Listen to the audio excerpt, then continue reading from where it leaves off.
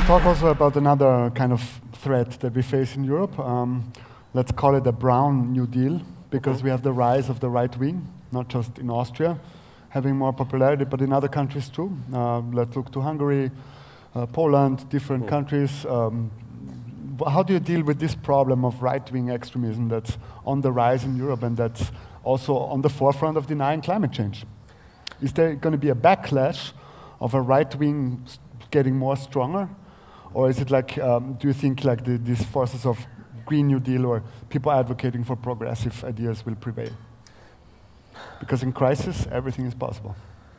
Yes, but in crisis, uh, it can go in all directions. I think the, the, the first thing in order to counterfight uh, uh, this brown New Deal, as you said, which means the neo-fascist international, is to get outside of the liberal understanding why uh, uh, uh, you have Viktor Orban, Poland, Trump, Bolsonaro in Brazil, Brazil and so on.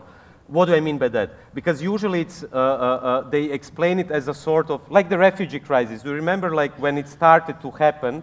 And that's already ideology when I say that it started to happen because it didn't start.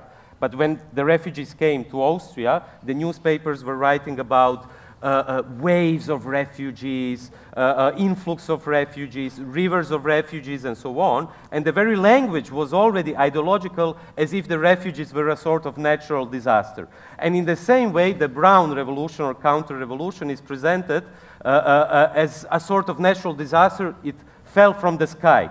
No, it didn't fall from the sky. And I think we have to get out of the liberal trap. It is precisely liberal slash neoliberal capitalism which brought to this. In what way? In the same way, in the 1929, the financial crash, the answer to the financial crash, the successful or unsuccessful or the tragic answer was National Socialism. What the European elites, including Jean-Claude Juncker, uh, uh, uh, uh Merkel, also Merkel if you want, they didn't respond to the 2007-2008 crisis. What happened afterwards, you have seen what happened with Greece, where 62% of the people voted against austerity measures, but the austerity measures were still imposed.